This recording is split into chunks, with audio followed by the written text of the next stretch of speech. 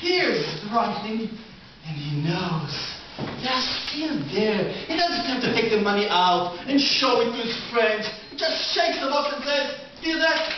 It's mine. Hear that? It's mine. Hear that? It's mine. It's mine. It's mine. What happened later? You think about it, because I'm in a hurry. Keep the box for me. Later we'll do something with it together. The fourth matchbox was given to. And Shmulik has a sister called Blumke. He's got lots of friends and all kinds of lovely things. You know, there are important things in the world, but unimportant things too. There are things girls need, those boys need. A matchbox is useful for a boy and for a girl too.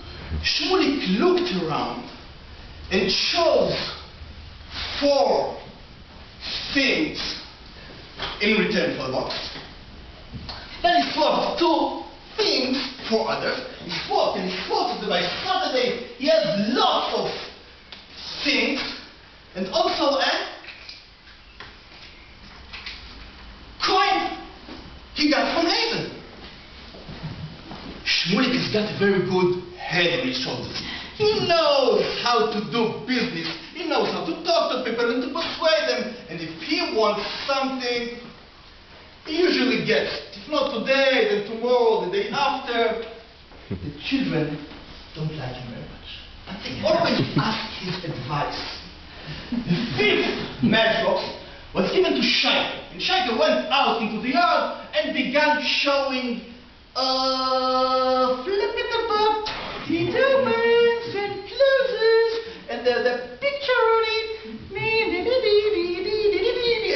Same time, Aharon was also in the yard, and Aharon said, A matchbox is nothing, rubbish, big deal, you can throw it right into the garbage. If you like, you think about what Shaike might have answered him, how they both quarreled, ah, ah, ah, and how they both pulled the box, how it was trampled underfoot, and how Shaike cried. He took my money, look at it. And how his mother shouted at Aharon. You hooligan, bandit, the robber, thief! And that is Aharon's mother shouted Shaike's mother. Why are you interfering? It was a long story, a very long one. You could write a whole book about it. Think what to write about. And I'll tell you about the matchbox of Chaim. Because Chaim did something completely different. He put his matchbox, his matchbox home. He didn't show it to anyone. He didn't tell anyone about it. Not even his big brother Israeli, or little Dvorale, or baby Shendale, because they might steal it, or even uh, spoil it, or even steal it. He took his matchbox and put it into his pocket. Later he took it out and put it in the cupboard. Later took it out and put it under the bed. And finally put it in a hidden corner in the cupboard. But that wasn't all. Try to think how this story might have ended, but don't tell it. A soul. The seventh matchbox was given to Isaac, and Isaac loves lollipops. And at the same time, Jacob happened to have one.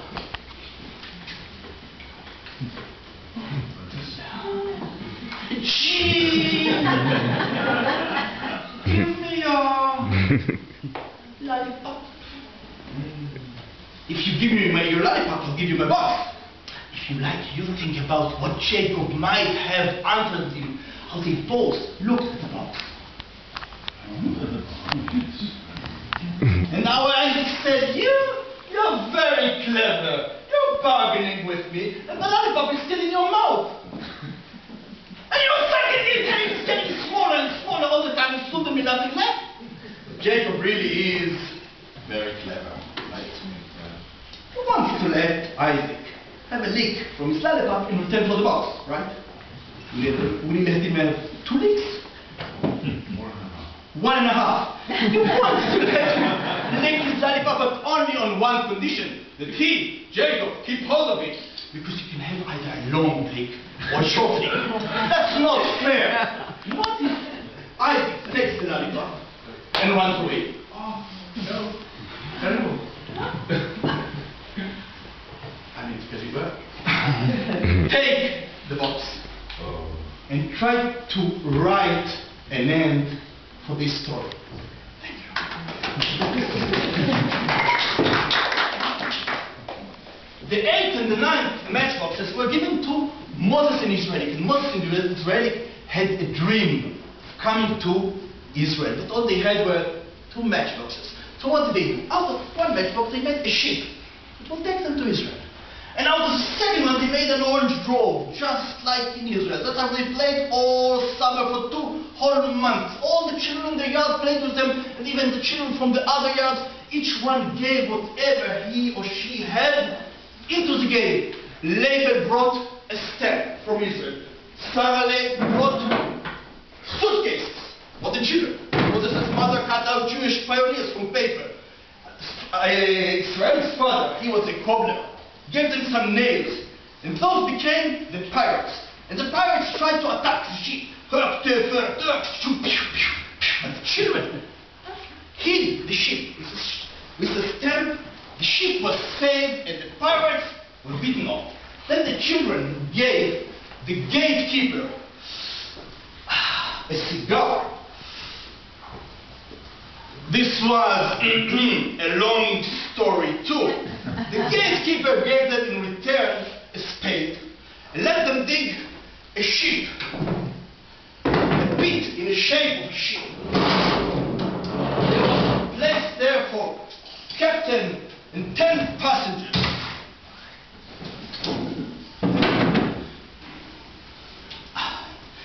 And there was there for captain and ten passengers. And they hoisted their flag. And they had tickets to Tel Aviv and Haifa. And each day they gave the ship a new name. Jerusalem, Kinneret, all of the places in Israel where they had a brother or a sister. And when they arrived to Israel, Sarah tied little stones with a thread to a bush. And those were oranges, suspensions in Israel. Then the children wrote letters to their parents so that they shouldn't have to worry. And there was a famous violinist, just like in Israel. Then the children built a museum. Near the museum there was a little ship made out of a matchbox. The tenth and the last matchbox was Yosef's. In memory of who did not make it to Israel. We all know that about a game like that, that started with matchbox and lasted for two whole months with captain and passengers and the flag and pirates attacks, we all know about a game like that, you could write a whole book. So try and write. You and you and you. All of you. Try and write something new, something more. I know you can do it. I'm sure you can do it. And now we will tell the story again together, just like I used to do with the children at the orphanage. Remember I gave ten poor boys who letter of present ten empty matches. The first was given to